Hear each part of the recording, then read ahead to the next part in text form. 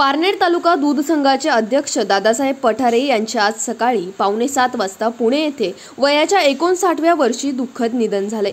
स्वर्गीय पठारे हे ज्येष्ठ नेते ज्ञानदेव पठारे यांच्या माध्यमातून राजकारणात आले व तत्कालीन आमदार वसंतराव झावरे यांनी त्यांना भूविकास बँकेचे अध्यक्ष केले. पारनेर तालुका राष्ट्रवादीचे अध्यक्ष म्हणूनही त्यांनी काम पाहिले. काही दिवसापूर्वी त्यांना कोरोनाची लागण झाली होती. पुढे त्यांना फुफ्फुसाच्या आजाराने ग्रासले. त्यांनी अनेक दिवस मृत्यूशी झुंज दिली.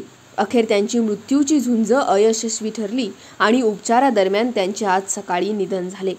त्यांचा अंत्यविधी त्यांच्या मूळ गावी वडुले येथे होणार आहे.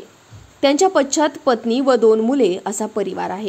त्यांच्या अकाली निधनामुळे पारनेरसह नगर जिल्ह्यामध्ये हळहळ व्यक्त होते. मायभूमी न्यूज चॅनलकडून स्वर्गीय दादासाहेब पठारे यांना भावपूर्ण श्रद्धांजली. अहमदनगर जिल्ह्यासह संपूर्ण महाराष्ट्रातील प्रत्येक घडामोडीची अपडेट पाहण्यासाठी मायभूमी न्यूज आवाज जनमनाचा या चॅनलला सबस्क्राईब करा आणि बेल आयकॉनवर क्लिक करा.